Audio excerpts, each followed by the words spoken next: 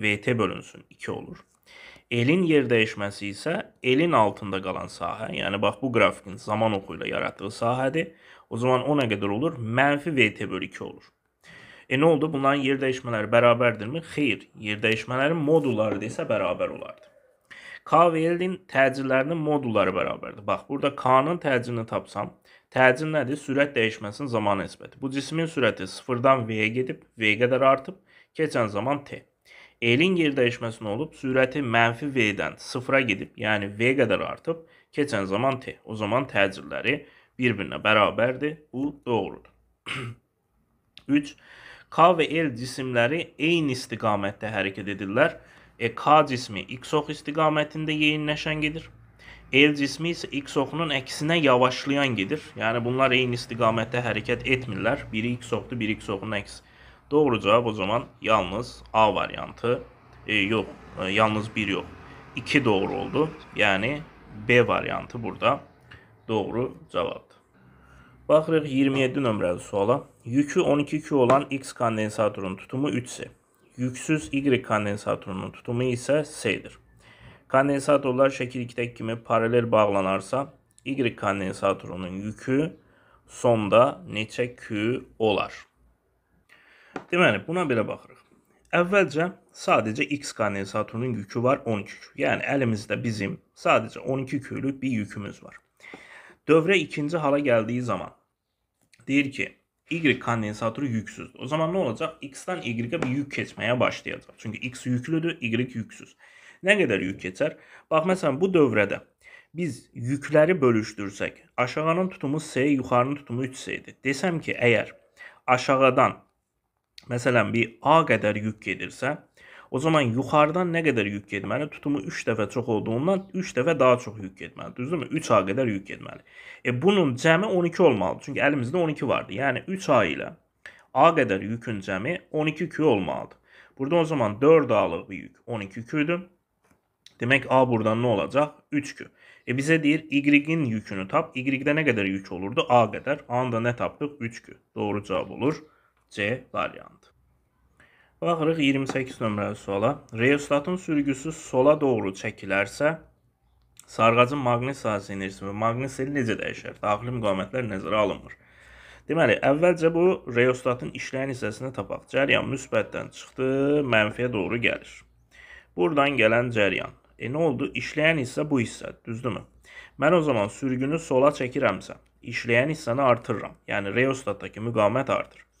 Müqavimət artırsa dövrədəki cəryan şiddəti azalar. Cəryan şiddəti azalsa nə olur? Maqnit seli fi bərabər eli idi. E, cəryan şiddəti azalsa o zaman maqnit seli də azalar. Maqnit sahəsinin enerjisi isə eli kvadrat bölü 2-dir. E, cəryan şiddəti azalsa yenə maqnit sahəsi enerjisi də azalar. Hər ikisi azalar azalar doğru cavab olur D variantı. Baxırıq 29 nömrəli suala. Eyni maddədən hazırlanmış 21 sm və 7 sm radiusu kürələr şəkildəki kimi bir-birinə yapışdırılıblar. Sistemin ağırlıq mərkəzi O1 nöqtəsindən neçə santimetr məsafədədir? Deməli, baxın, bunların özünün bir ağırlığı var. Birincinin ağırlığı aşağıya doğru M1J, ikincinin ağırlığı da aşağıya doğru M2J. E, bunların ağırlıq mərkəzi bunları birləşdirən düz xəttin üzərində olacaq. Məsələn, e, təbii ki, böyük kürənin daxilində bir yerdə olacaq. Çünki tarazlığı almaq üçün kütləsi çox olan yerə getməlidir. Məsələn, buralarda bir yerdə olacaq bunun ağırlıq mərkəzi. O zaman mən bu məsafəyə x desəm, digər məsafə nə olar? Bütün buranın uzunluğu 21 7-dən 28-dir. Deməli, bura olacaq 28 minus x. İndi momentlər qaydasını tətbiq etsəm, M1J vurulsun x bərabər olur, M2J vurulsun 28 minus x-a. Buradan J'lər getdi. M1-in yerinə yazıram. Rho1 vurulsun, V1 vur, x bərabər. Rho2 vurulsun, V2 vurulsun, 28 minus x-a. İndi baxın, buradan eyni maddədən hazırlandığı üçün sıxlıqlar eyni, sıxlıqlar getdi. Birincinin həcm yerinə, kürənin həcmdə düsturu nə idi? 3-də 4 pi r kub.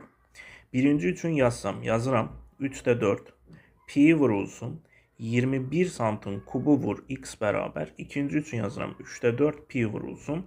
7-nin kubu vur 28 minus x-a. Buradan 3-də 4 pi'lər də getdi. Deməli 21-i kubu eləyəcək 9261 vur x bərabərdir. 7-nin kubu isə e, deməli 49-u 7-yə vursaq eləyir 343 vurulsun 28 minus x-a. Buradan da deməli 9261-i bölsək 343-ə bunları aparsaq qalır burada 27x bərabərdir 28 minus x-a.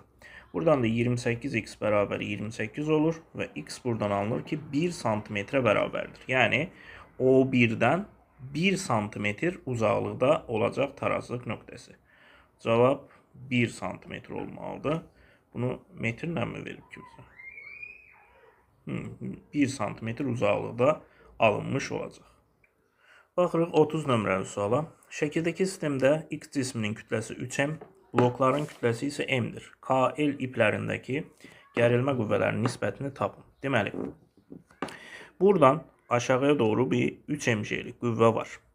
Hər bir blokun çəkisi m olduğundan buradan da aşağıya doğru bir mg'lik qüvvə var. Buradan da aşağıya doğru bir mg'lik qüvvə var. O zaman baxın, bu sistemin sadəcə burasına baxsaq, burada nə qədər qüvvə var?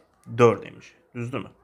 E burada 4 mg varsa bu blokda bu qüvvələr 2 yerə ayrılır. Yəni 4 mg'nin 2 mg'si buranın olur və 2 mg də burada olur. O zaman K ipində gərilmə qüvvəsi 2 mg'ni vermiş oldu. K'dakı gərilmə oldu 2 mg.